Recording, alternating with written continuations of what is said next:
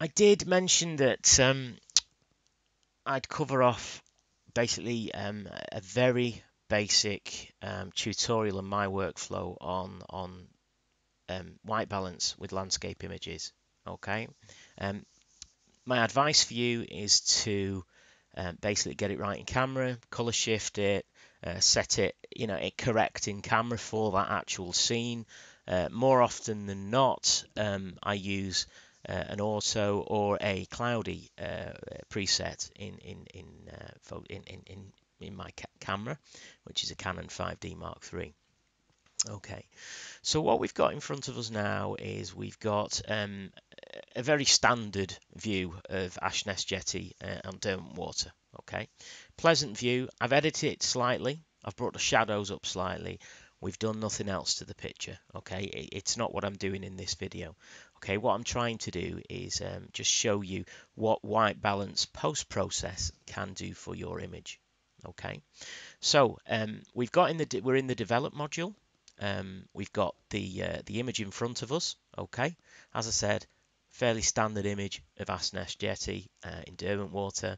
Um, we've got the white balance as shot on the on the right hand side here. Okay, and what we're going to do, I'm going to take you through the presets. Uh, so we've got auto, um, which totally and utterly washes out the scene. It's not what I want, to be quite honest.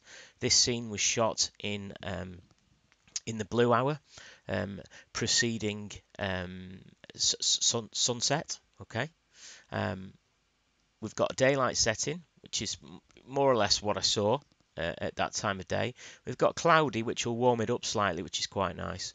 Uh, we've got shade as well. Uh, we've got tungsten, which is crazy. You don't want that. Um, we've got fluorescent. Okay, again, um, too much pink hues and, and, and, and sort of uh, magenta in there. We've got flash, which is neither here nor and, and, and then we come to custom okay? So what I tend to do is um, I tend to go as shot because I know I got it right in camera okay? And then what I'll do is um, I'll, I'll, I'll take this slider the temperature slider and I'll just ever so slightly just start to decrease it slightly okay? So we'll get some nice uh, blue um, but you can warm it up as well to your tastes. Personally um, I like my landscape images to be slightly uh, slightly blue okay uh, to match the filtration with the Lee filters that I that I like. Okay, so um, I'm going to slightly slide that down slightly because it was in blue hour to match what I saw in scene, and I'm also going to look at the tint as well. Um,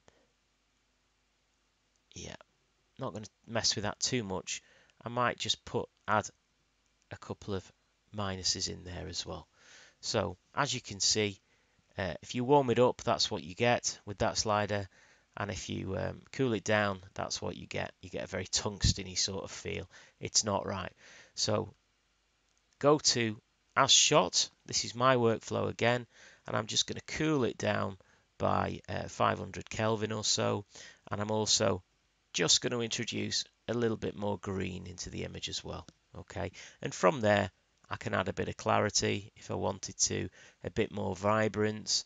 I can take the highlights down ever so slightly. And for me, that's working as an image. Okay. Again, white balance is all about personal preference. All right. But that's my workflow with landscape and seascape images for white balance. I nearly every time alter the white balance of an, of an image. Only slightly, but just to my taste. All right. Thank you.